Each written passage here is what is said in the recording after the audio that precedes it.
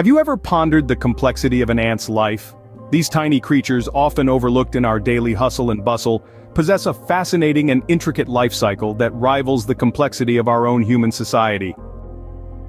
In the heart of nature, the tale of an ant begins as a tiny egg, laid by the queen of the colony. The queen, a marvel of nature, can lay millions of eggs in her lifetime, each one carrying the potential to become a worker, a soldier, or even a future queen. The eggs, minute and delicate, are tended to with utmost care by the worker ants. These workers, all females, dedicate their lives to the service of the colony. They clean and nurture the eggs, ensuring their survival into the next stage of life. After a few weeks, the eggs hatch into larvae. Devoid of legs and eyes, these worm-like creatures may not resemble the ants we're familiar with, yet they carry the same potential within them. The worker ants feed the larvae with chewed food and nectar, ensuring they grow and develop.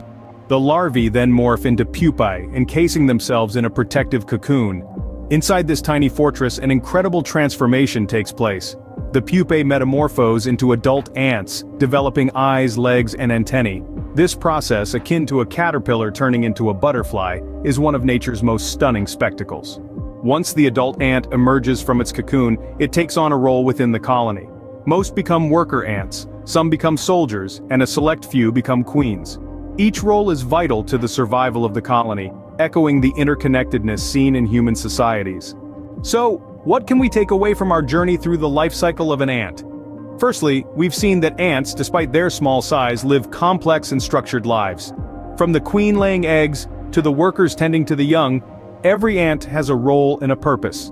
Secondly, the process of metamorphosis from egg to adult is a testament to nature's incredible adaptability and resilience.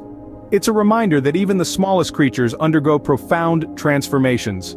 Lastly, the societal structure within an ant colony reflects our own human societies. Each ant, whether a worker, a soldier or a queen, contributes to the survival and success of their community. In the grand scheme of nature, ants may seem insignificant. But when we delve into their world, we find a society as complex and fascinating as our own. So next time you see an ant scurrying across your path, take a moment to appreciate the intricate life cycle and societal structure of these tiny marvels of nature.